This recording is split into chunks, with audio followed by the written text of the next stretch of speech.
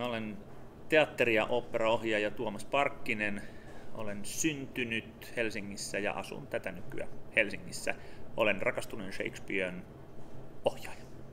Kyseessä on romanttinen komedia. Siinä on oikeastaan kaksikin pääjuonilinjaa. Toinen juonilinja on se, että William Shakespeare, joka on yksi maailman ainakin länsimainen tunnetuimpia kirjailijoita ja tuottelijampia kirjailijoita kärsii valkoisen paperin kammosta, ei pysty kirjoittamaan. Ja hän olisi kirjoittamassa Romeot ja Juliaa, mutta se ei etene. Ja sitten se toinen juonilinja on, on aatelisneito Viola haaveilee näyttelijän ammatista, mutta Elisabetin aikainen teatterilava on naisilta kielletty. Viola pukeutuu mieheksi ja liittyy Shakespearen teatteriseurueeseen. Ja nämä kaksi juonilinjaa niin kohtaa ja, ja leikkaa toisiaan. Ja violan avulla Will saa ö, luovuutensa takaisin ja, ja taas sitten Willin avulla Viola pääsee näyttämään kokemaan, minkälaista on olla näyttelijä ja minkälaista on kertoa tarinaa ja mitä se on se teatterin huuma.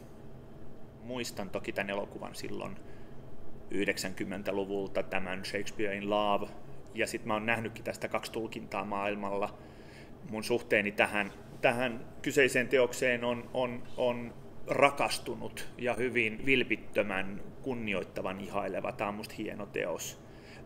Shakespearea en ole koskaan ohjannut, mutta toki tunnen sitä sillä tavalla, kun ehkä suomalaiset teatterintekijät tunteet. Olen nähnyt todella paljon Shakespeare-tulkintoja Suomessa ja, ja myös myös Britanniassa ja jopa, jopa Ruotsissa ja Euroopassa. Että tota, en väitä olevani mikään, mikään Shakespeare-tuntija, mutta ihailen muutamia hänen näytelmiään, kuten esimerkiksi Hamlettia ihailen, ihailen tosi paljon.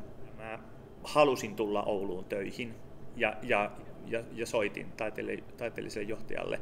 Ja sitten me ruvettiin etsimään tekstiä ja mä itse ehdotin tätä tekstiä ja, ja siihen johtaja kovasti tykästyi ja mä olen hyvin iloinen, että mä saan tehdä tämän täällä, koska tämä on mun yksi ihan semmoisia isoja haaveita ollut muutaman vuoden ajan, että mä saan tehdä tämän.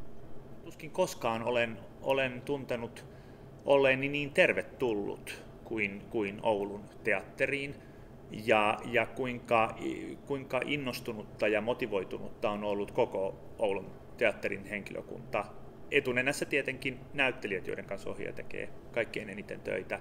Minulle tämä on ollut, ollut siis yhtä ruusuilla tanssimista tämä koko harjoitusaika ja, ja mä vähän toivon, että se kenties näkyisi, näkyisi lopputuloksessa, koska tämä näytelmä kertoo muun muassa siitä, kuinka, kuinka pa, tulen palavasti ihmiset suhtautuvat tässä näytelmässä teatterityöhönsä, niin se varmaan näkyy myös sitten meidän esityksessä.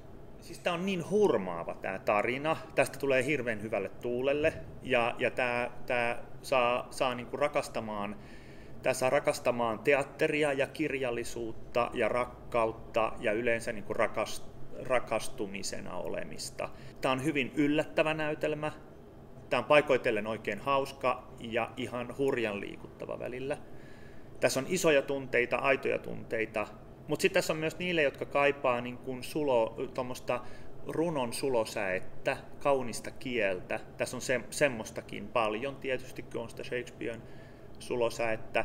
Mutta sitten tässä on myös ihan semmoista niin kuin, niin kuin miekkailua ja taistelua ja tanssimista ja koiratemppuja ja semmoisia niin sirkus, sirkushuveja niille, jotka semmoisia kaipaa. Että kyllä sanoisin, että tämä on hyvin, hyvin monikerroksinen näytelmä, mutta on myös niin kuin sillä tavalla hyvin kansaan menevä näytelmä, että, että jokaiselle jotakin.